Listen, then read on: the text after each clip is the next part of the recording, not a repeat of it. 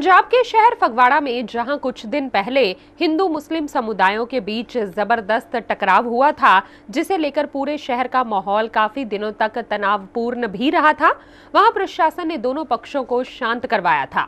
इस शांति के माहौल को यूँ ही कायम रखने और दिलों में पैदा हुई कड़वाहट को खत्म करने के लिए, गाँव पलाही के एक मुस्लिम स्कूल में हिंदू मुस्लिम सिख ईसाई आपस में सब भाई भाई कार्यक्रम का आयोजन किया गया, जिसमें प्रजापिता ब्रह्म कुमारी आश्रम सुभाष नगर से सुमन बहन और आश्रम के दूसरे भाई बहन विशेष रूप से पहुँचे।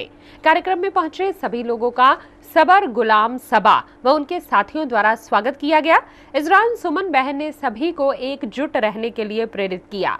इस मौके पर देव कालिया गौर अहमद, मोहम्मद असलम, नरेंद्र कुमार, मौलवी नसीम, मोहम्मद शामीन सहित सभी धर्मों के लोग मौजूद थे। ਭਾਈਚਾਰਕ ਦਾ ਸਾਂਝ ਦਾ ਪ੍ਰਤੀਕ ਰੱਖਦੀ ਜੋ ਆਉਣ ਵਾਲਾ, ਆਉਣ ਵਾਲੇ ਦਿਨਾਂ 'ਚ ਤਿਉਹਾਰ ਹੈ, ਉਹਦੇ ਸਬੰਧ ਵਿੱਚ ਹੀ ਸਾਡੇ ਭੈਣ ਜੀ ਹੁਣੀ ਸੁਭਾਸ਼ ਨਗਰ ਤੋਂ ਆਏ। ਔਰ ਉਹਨਾਂ ਨੇ ਸਾਨੂੰ ਇਸ ਗੱਲ ਲਈ ਕਿਹਾ ਕਿ ਅਸੀਂ ਇਹ ਆਪਸੀ ਭਾਈਚਾਰਾ, ਆਪਸੀ ਪਿਆਰ ਜੋ ਵਧਾਉਣਾ ਚਾਹੁੰਦੇ ਹਾਂ, ਇਸ ਰਾਖੀ ਦੇ ਜ਼ਰੀਏ ਤਾਂ ਸਾਨੂੰ ਬਹੁਤ ਹੀ ਖੁਸ਼ੀ ਹੋਈ ਕਿ ਵਾ ਜੋ ਮਦੀਨਾ ਮਸਜਿਦ ਫਲਾਹੀ ਵਿਖੇ ਆਏ। ਔਰ ਉਹਨਾਂ ਨੇ ਸਾਡੇ ਸਾਰਿਆਂ ਦੀ ਰਾਖੀ ਬੰਨੀ ਔਰ ਇਹ ਇੱਕ ਪਿਆਰ ਦਾ ਸੰਦੇਸ਼ ਲੈ ਕੇ ਜੋ ਆਏ ਸੀ, ਅਸੀਂ ਵੀ ਸਾਰਿਆਂ ਨੇ ਉਹਨੂੰ ਅਸੈਪਟ ਕਰਦੇ ਹੋਏ ਉਹਨਾਂ ਤੋਂ ਰਾਖੀ ਬਣਾਈ।